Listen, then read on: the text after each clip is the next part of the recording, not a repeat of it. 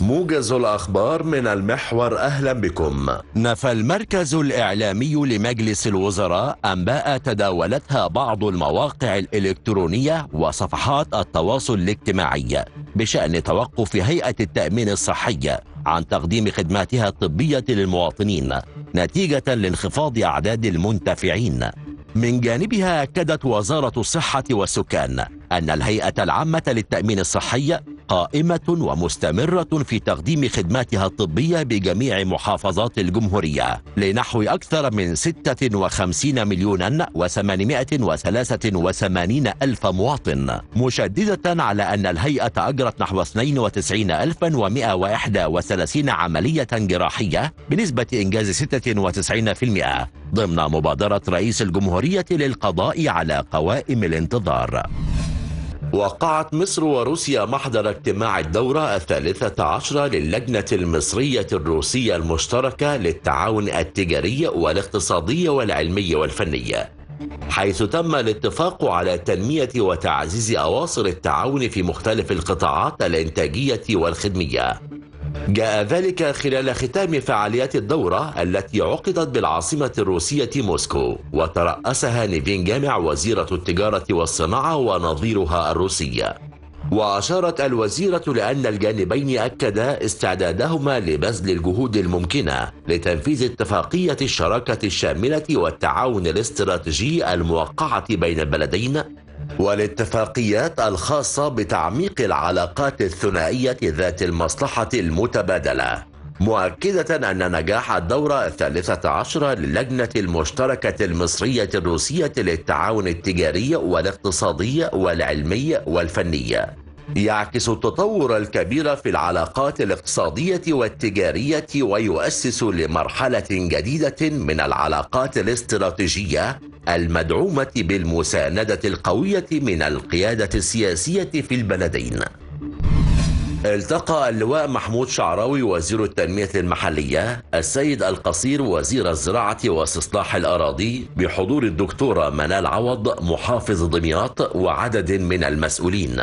شهد الاجتماع استعراض آخر مستجدات المشروع القومي لتطوير المجازر ومعدلات تنفيذ المشروعات الجارية لنحو 150 مجزرا على مستوى الجمهورية.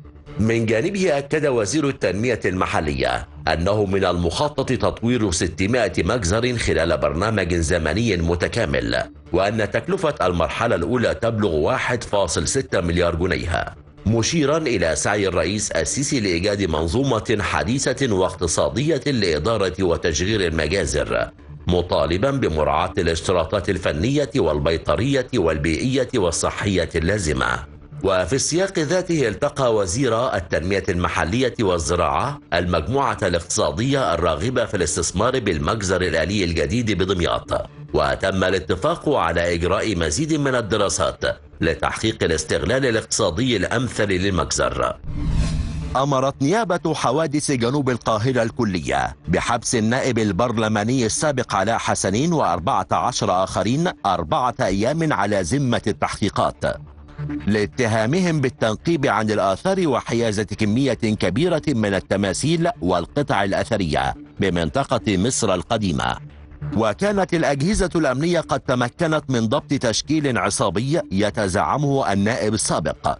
تخصص في التنقيب عن الآثار في مناطق مختلفة على مستوى الجمهورية والإتجار بها وتهريبها إلى الخارج.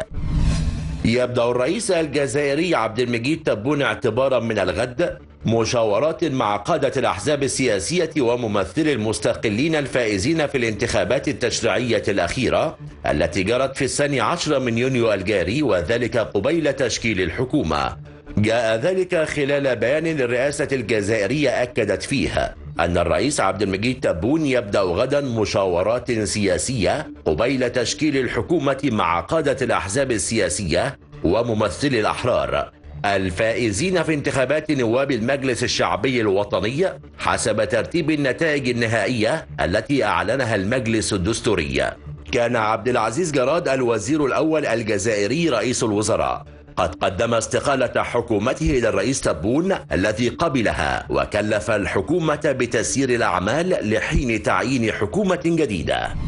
دعا قادة الاتحاد الأوروبي اليوم على هامش القمة المنعقدة في بروكسل إلى سحب جميع القوات الأجنبية من ليبيا بشكل فوري.